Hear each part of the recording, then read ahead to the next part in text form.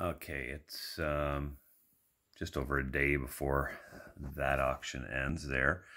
Um, I have the pen here. I just want to show you it works. So double click, it should, uh, let me put it this way, double click, it should capture the screen.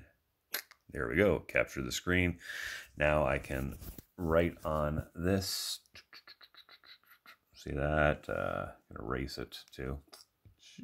There's buttons on the side here.